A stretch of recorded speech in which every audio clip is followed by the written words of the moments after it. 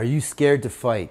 Do you feel like you're weak and small? This fight is just looming and you really want to do it, but there's just something within you that is terrified, that is absolutely terrified that you're going to get hurt, that is terrified that everybody's going to see how small and weak you are, that you're not actually going to be able to go through with it. Does it make you feel like you want to vomit when you think about that impending doom of a fight? You're not alone. Everyone is scared to fight. If you're not scared to fight, you're stupid because really bad things can happen when you fight. But that fear can only hurt you if you don't accept it. If you do not accept the fear that's within you, you will be thinking of a million things instead of the man that's in front of you, the technique that you need to employ right at this second. Acceptance is the key to allow fear to make you better. That fear, those nerves will make you fight better than you've ever fought before.